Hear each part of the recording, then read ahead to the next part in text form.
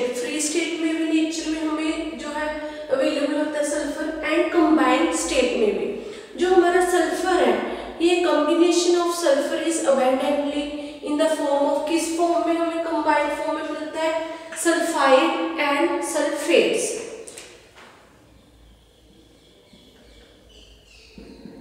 जो combined form है, जो कंबाइंड फॉर्म है, वो है हमारे सल्फाइड्स एंड सल्फेट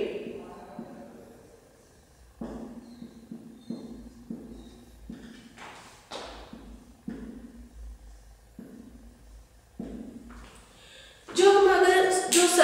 उसे हम अगर बर्न करते हैं एयर में तो वो बहुत ज़्यादा सफोकेटिंग जो है वो ऑर्डर आती है। जब भी हम सल्फ़र तो सल्फ़र को बर्न करते हैं एयर में तो सफोकेटिंग ऑर्डर हमें आती है। जो स्मॉलर अमाउंट में है it is very great variety of minerals में, ठीक है सल्फ़र यूज़ होता है। या फिर जो हमारा, जो कॉन्स्टिट्यूंट्स है मेनली जो sulphur animals and vegetable sources से मिलता है। Sulfur exists in two form, amorphous and crystalline form.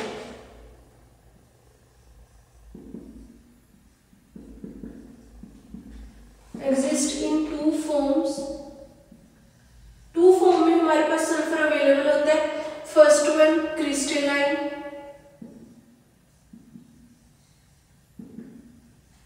and amorphous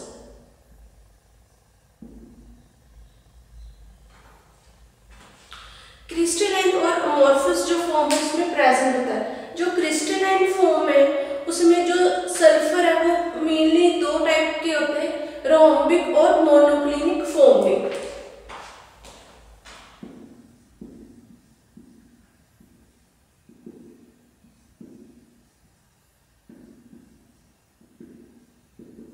monoclinic और रोम्बिक फॉर्म में हमारे पास अवेलेबल होते हैं जो क्रिस्टलाइन फॉर्म के सल्फर्स होते हैं क्रिस्टलाइन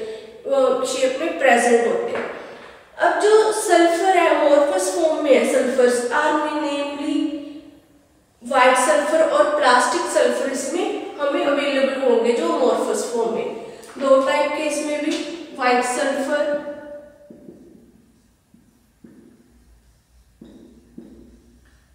and plastic sulphur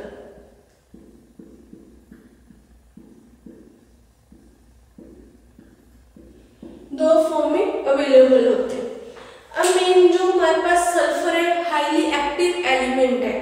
इसमें जो रिएक्ट अगर मेटल और नॉन मेटल के साथ जब सल्फ़र रिएक्ट करता है तो उसमें जो है वो, जो कंपाउंड्स बनते हैं उसमें आ गया Na2S हो गया। ठीक है, जब हम इसे एयर में बर्न करेंगे तो सफोकेटिंग जो फ्यूम्स है, वो निकलते हैं, जो सफोकेटिंग होती है। उसका जो ट्रेडिशनली है, हम लोग जो सल्फ़र का यूज़ करते हैं, वो दो टाइप से यूज़ करेंगे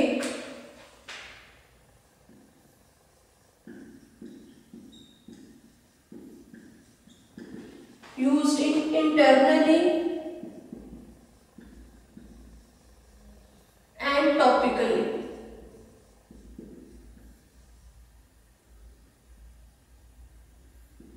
And या फिर टॉपिकली आ दो टाइप से हम लोग सल्फ़र का यूज़ करते हैं। इंटरनली भी यूज़ करते हैं और टॉपिकली भी हम लोग सल्फ़र का यूज़ करते हैं। अब जैसे इंटरनली जो हम लोग यूज़ करेंगे, इसका मेन हम लोग यूज़ करते हैं फर्स्टली जो है मेन यूज़ करेंगे फर्टिलाइजर्स में, जिसे एग्ज़ाम्पल है ऑर्गेनो सल्फ़र कंपाउंड्स है। ऑर्गेनो जो सल्फ़र कंपाउंड है, उसका हम यूज़ करते हैं फार्मास्यूटिकल्स में। डाइस्ट में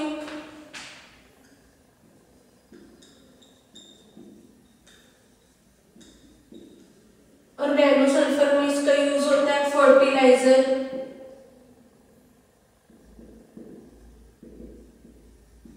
डाइस्टफ्स मतलब जो हम किसी भी वूलन को या फिर किसी भी क्लोथ्स को डाई करने के लिए यूज़ करते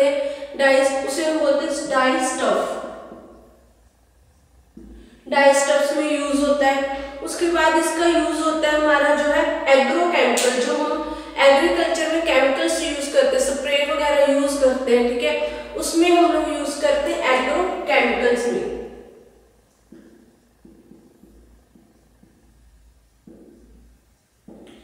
कोई भी एग्रीकल्चर में जब हम लोग कोई भी जो मेडिसिन है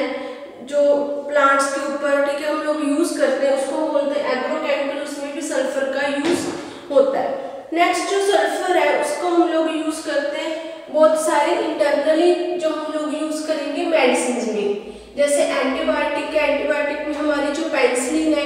पेंसिलिन से फेलोस्फोरिन होगी जो ये ड्रग्स हैं उनमें भी जो सल्फ़र है वो उसमें सल्फ़र प्रेजेंट होता है उसमें भी हम लोग सल्फ़र का यूज़ करते हैं एंटीबायोटिक यूज़ हम लोग जैसे बैक्टीरिया को किल करने के लिए करेंगे, वो हो गया हमारे इंटरनली जो है यूज़ है सल्फर्स का। इसमें का हम लोग यूज़ करेंगे? फंगीसाइड्स को किल करने के लिए, जो हमारे जैसे ग्रेप ग्रेप्स के ऊपर, जो फंगस लग जाती है फंगीसाइड्स को, उसको किल करने के लिए भी हम लोग सल्फ़र की जो मेडिसिन है, उनका यूज़ करते हैं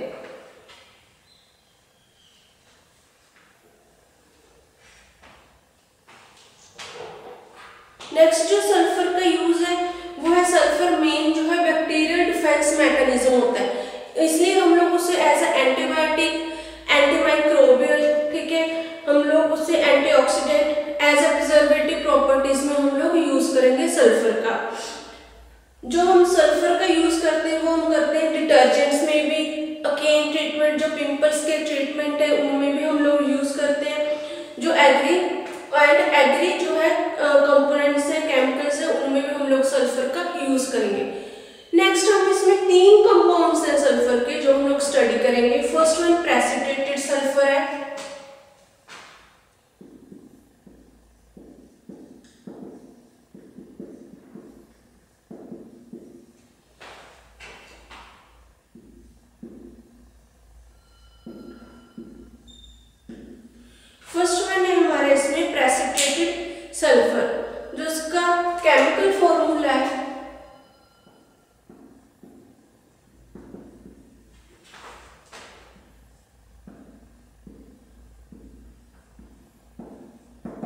केमिकल फॉर्मूला है हमारा सल precipitated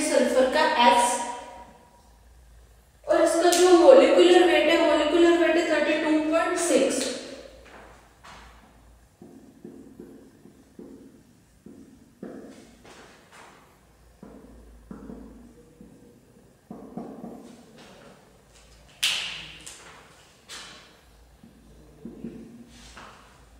thirty two point six इसका मोलिकुलर वेट है नेक्स्ट हम करेंगे इसकी प्रेपरेशन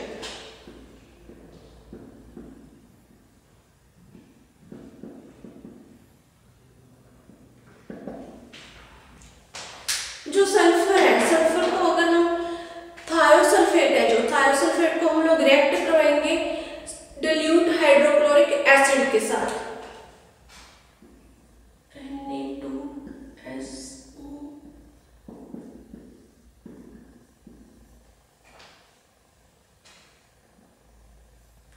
ये है हमारा thiosulphate Na2S2O3 plus dilute hydrochloric acid 2HCl इससे हमारे पास जो प्रिपेयर होगा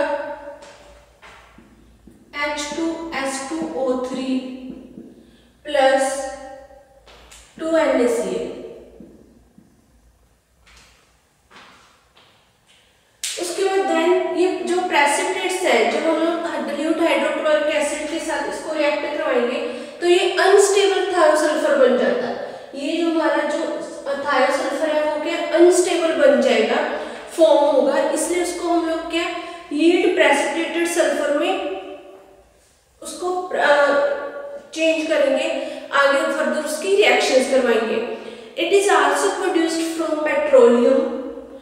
natural gas, gas and released fossil resources from which is, it is obtained mainly as hydrogen sulphide then इसको हम लोग रिएक्ट करवाएँगे जब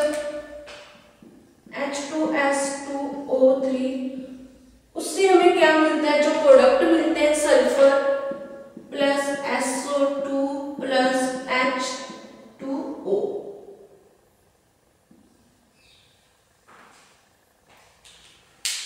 जब इसको हम लोग डन रिएक्शन करवाएँगे, ठीक है? तो ये हमारे पास sulphur sulphur dioxide plus water available होगा। ये हो गया हमारा प्रेसिपिटेटेड सल्फ़र जो सल्फ़र है प्रेसिपिटेटेड सल्फ़र है, वो प्रेसिपिटेट की फॉर्म में हमारे पास अवेलेबल होगा। नेक्स्ट प्रॉपर्टीज़ है।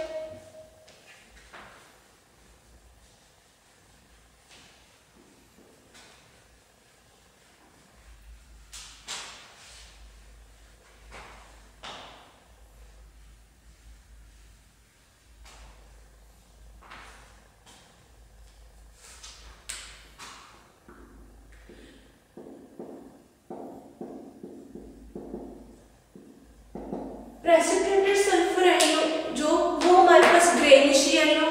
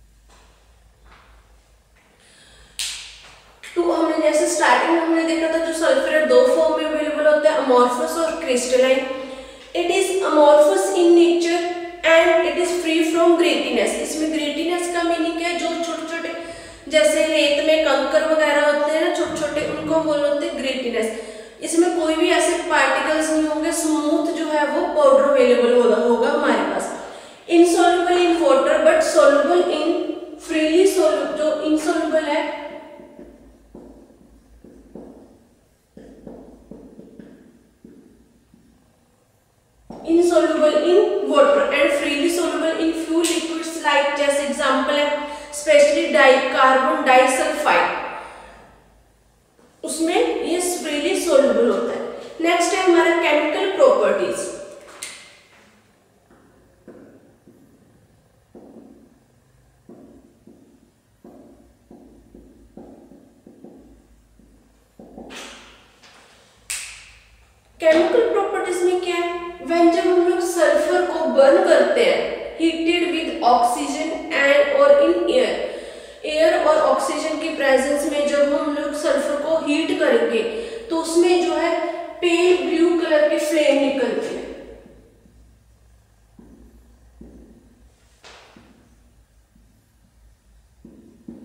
जो पेल ब्लू कलर की फ्लेम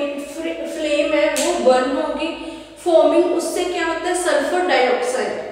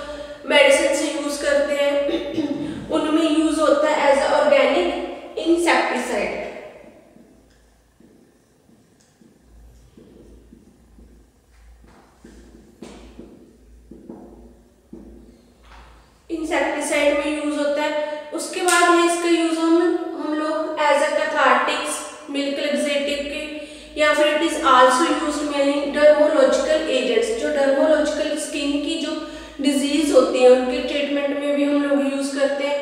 अकेन में भी यूज़ करते हैं हम लोग.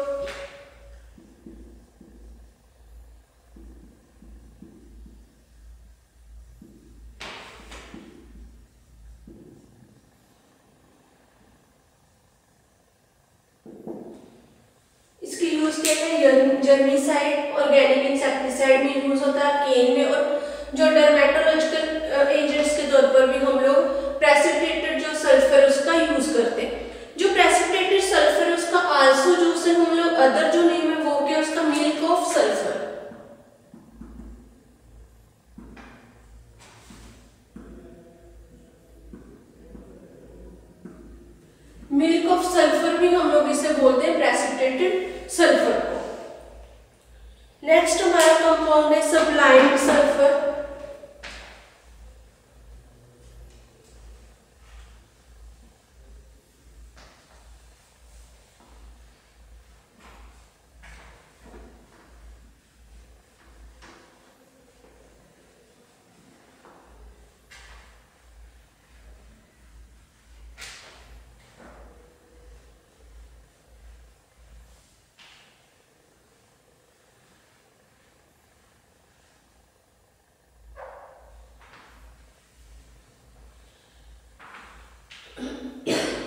सेकेंड कंपाउंड है हमारा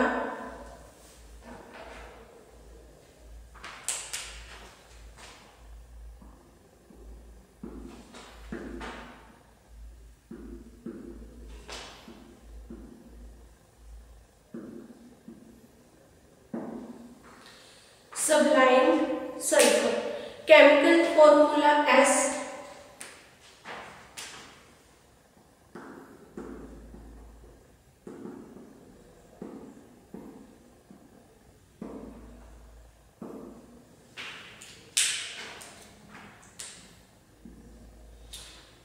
chemical formula इसका एस है जो अटोमिक वेट है thirty two point zero six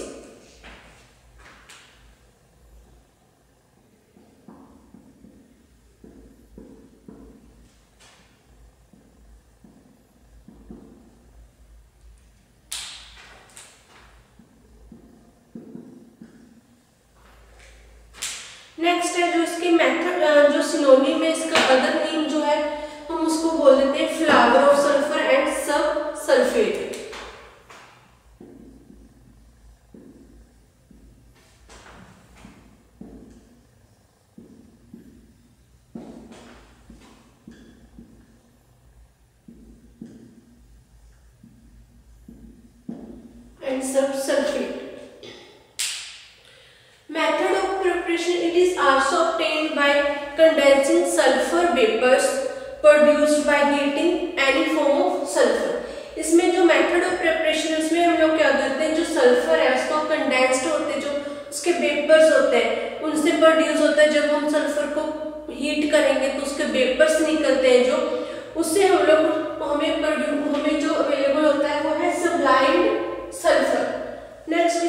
properties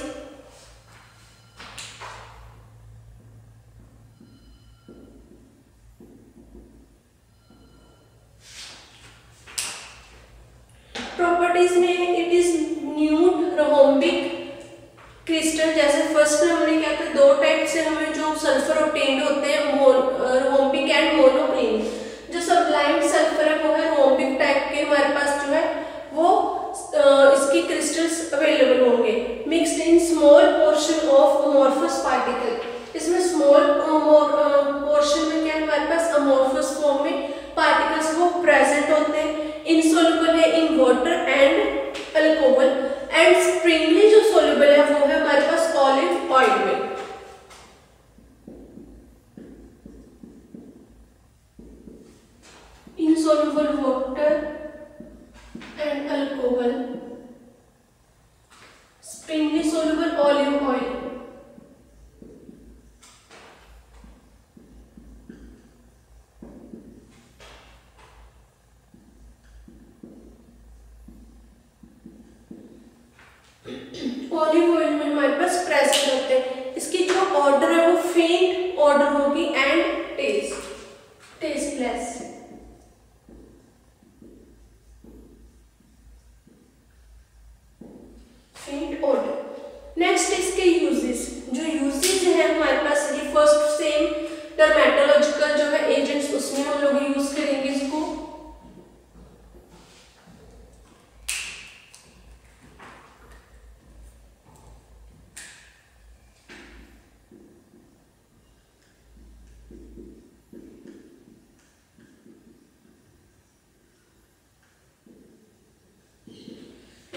Biological agents in the treatment of acne हो गया and other skin problems it can also be used in organic pesticides insecticides जो है organic insecticides में use होगा next है इसको हम लोग डार्क ग्रे कलर के हेयर्स को कलर करने के लिए भी हम लोग सबलाइम सल्फ़र का यूज़ करते हैं नेक्स्ट इसका यूज़ है ये mild antiseptic and mild antiseptic और पैरस एंटीसेप्टिक पे भी हम लोग यूज़ करेंगे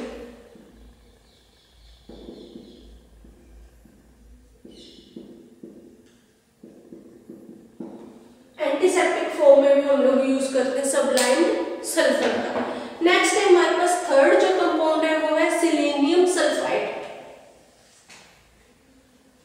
दो कंपाउंड हमने कवर कर लिए precipitated sulphur and sublime sulphur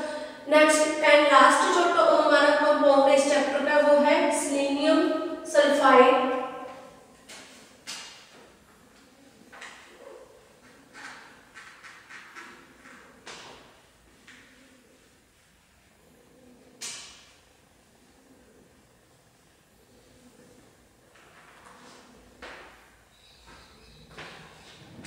Selenium sulfide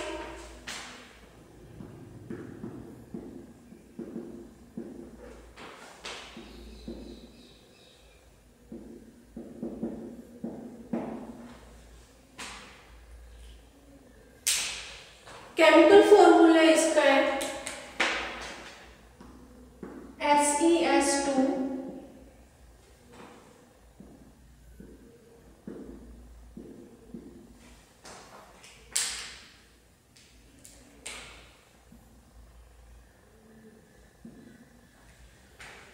chemical formula S C S SES2 and molecular weight 143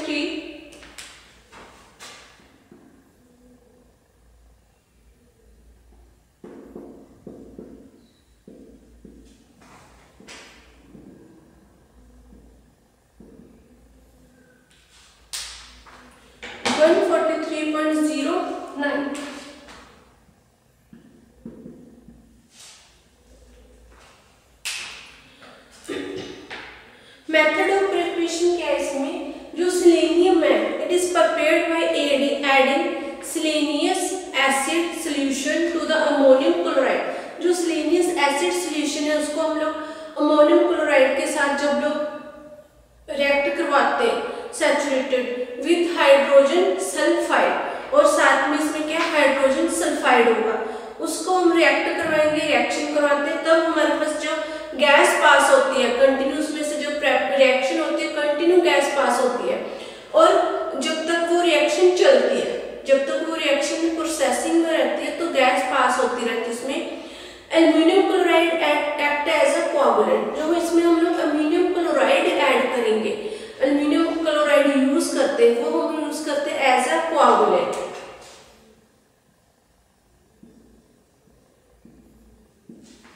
as a coagulant हम लोग यूज़ करेंगे। दी प्रेसिपिटेटेड जो सिलेनियम सल्फाइड के प्रेसिपिटेट्स होते हैं देन फ़िल्टर करेंगे फ़िल्टर के बाद हम लोग वॉश करेंगे और हम उसे फिर रूम टेम्परेचर पे क्या ड्राई कर लेंगे जो हमारे प्रेसिपिटेटेड फॉर्म होंगे। इसकी रिएक्शन है। He2, H3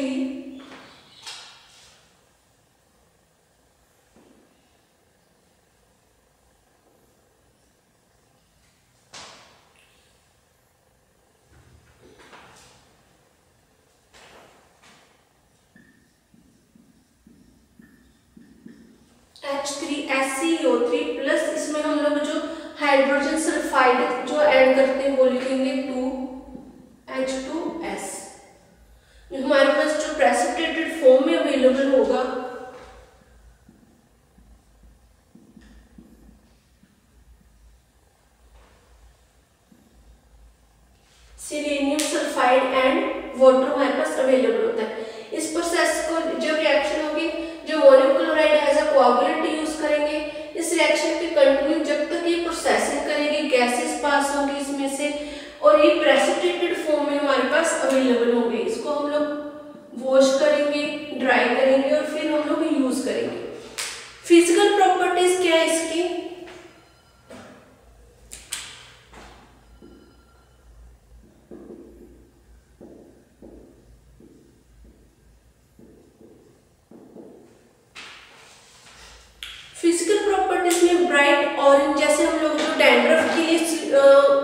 शैम्पू यूज़ करते हैं सिलेनियम का ये शैम्पू में भी यूज़ होता है जो हम डैंड्रफ को रिमूव करने में स्कैल्प में से यूज़ करते हैं। हमने देखा होगा वो शैम्पू की और वो ऑरेंज कलर का होता है, ठीक है? तो इसलिए जो इसकी फ़िज़िकल प्रॉपर्टीज़ है, इसका कलर क्या है? ऑरेंज पाउडर है। फेंट ऑर्डर उसकी ऑर्डर भी थोड़ी फेंट सी होती है। एंड फेंट ऑर्डर क्यों होती है? क्योंकि उसमें जो हाइड्रोजन सल्फाइड है, वो प्रेजेंट है। उसके कारण जो उसकी ऑर्डर है, वो फेंट होगी faint orange colour powder orange powder होता है फेंट हमारे उसकी ऑर्डर होती है and insoluble in water and most soluble in chloroform and ether ये मेनली जो है soluble in chloroform and ether and insoluble in water में इनसोल्युबल होता है इसके जो यूज़ है नेक्स्ट हम करेंगे